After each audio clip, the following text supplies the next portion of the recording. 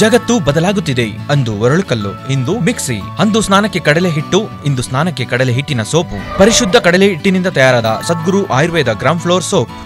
ಪಾಕಿಸ್ತಾನದ ವಿರುದ್ಧದ ಎರಡನೇ ಟೆಸ್ಟ್ ಪಂದ್ಯವನ್ನು ನ್ಯೂಜಿಲೆಂಡ್ ಸಂಪೂರ್ಣವಾಗಿ ತನ್ನ ಹಿಡಿತದಲ್ಲಿಟ್ಕೊಂಡಿದೆ. ನ್ಯೂಜಿಲೆಂಡ್ ತಂಡದ ನಾಯಕ ಕೇನ್ ವಿಲಿಯಮ್ಸನ್ ನೀಡಿದಂಥ ಭರ್ಜರಿ ದ್ವಿಶಕದ ಪ್ರದರ್ಶನ ತಂಡದ ಬೃಹತ್ ಮೊತ್ತಕ್ಕೆ ಕಾರಣವಾಗಿದೆ. ಈ ಮೂಲಕ ನ್ಯೂಜಿಲೆಂಡ್ ಮೊದಲ ಇನ್ನಿಂಗ್ಸ್ನಲ್ಲಿ ಇನ್ನೂರು ರನ್ಗಳಿಗೂ ಅಧಿಕ ಮುನ್ನಡೆಯನ್ನು ಪಡೆದು ಮುನ್ನುಗ್ತಾ ಇದೆ.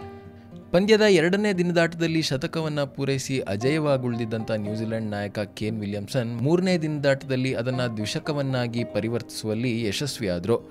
ಮುನ್ನೂರ ಇಪ್ಪತ್ತೇಳು ಎಸೆತದಲ್ಲಿ ಕೇನ್ ವಿಲಿಯಮ್ಸನ್ ಇನ್ನೂರು ರನ್ಗಳನ್ನ ಪೂರ್ಣಗೊಳಿಸಿ ಸಂಭ್ರಮಿಸಿದ್ರು. ಈ ಮೂಲಕ ಟೆಸ್ಟ್ ಕ್ರಿಕೆಟ್ನಲ್ಲಿ ತನ್ನ ಅದ್ಭುತ ಫಾರ್ಮನ್ನು ಮುಂದುವರಿಸಿದ್ದಾರೆ. ಪಾಕಿಸ್ತಾನದ ವಿರುದ್ಧ ಎರಡನೇ ಟೆಸ್ಟ್ ಪಂದ್ಯದಲ್ಲಿ ಕೇನ್ ವಿಲಿಯಮ್ಸನ್ ದ್ವಿಶತಕವನ್ನ ಮಾತ್ರವಲ್ಲದೆ ಮತ್ತೊಂದು ಮಹತ್ವದ ಸಾಧನೆಯನ್ನ ಕೂಡ ಮಾಡಿದ್ದಾರೆ. ನ್ಯೂಜಿಲೆಂಡ್ ತಂಡದ ಆಟಗಾರನಾಗಿ ಅತ್ಯಂತ ವೇಗವಾಗಿ ಏಳು ಸಾವಿರ ರನ್ ಗಳಿಸಿದಂಥ ಕ್ರಿಕೆಟಿಗ ಅನ್ನೋ ಹೆಗ್ಗಳಿಕೆಗೆ ಈಗ ಕೇನ್ ವಿಲಿಯಮ್ಸನ್ ಪಾತ್ರರಾಗಿದ್ದಾರೆ. ನ್ಯೂಜಿಲೆಂಡ್ ತಂಡದ ಪರವಾಗಿ ರಾಸ್ ಟೇಲರ್ ಅತಿ ಹೆಚ್ಚಿನ ಟೆಸ್ಟ್ ರನ್ಗಳನ್ನು ಗಳಿಸಿದ ಆಟಗಾರ ಅನ್ನೋ ಖ್ಯಾತಿಗೆ ಹೊಂದಿದ್ರು.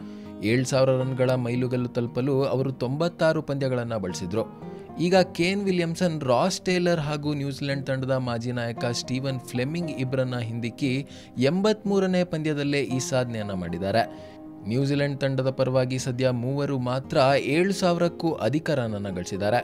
ಸ್ಟೀಫನ್ ಫ್ಲೆಮಿಂಗ್ ನೂರ ಹನ್ನೊಂದು ಟೆಸ್ಟ್ ಪಂದ್ಯಗಳಲ್ಲಿ ಏಳು ಸಾವಿರದ ನೂರ ಎಪ್ಪತ್ತೆರಡು ರನ್ ಗಳಿಸಿದರೆ ನೂರ ಐದು ಪಂದ್ಯಗಳನ್ನಾಡಿರುವಂಥ ರಾಸ್ ಟೇಲರ್ ಏಳು ಸಾವಿರದ ಮುನ್ನೂರ ಎಪ್ಪತ್ತೊಂಬತ್ತು ರನ್ನನ್ನು ಗಳಿಸಿದ್ದಾರೆ.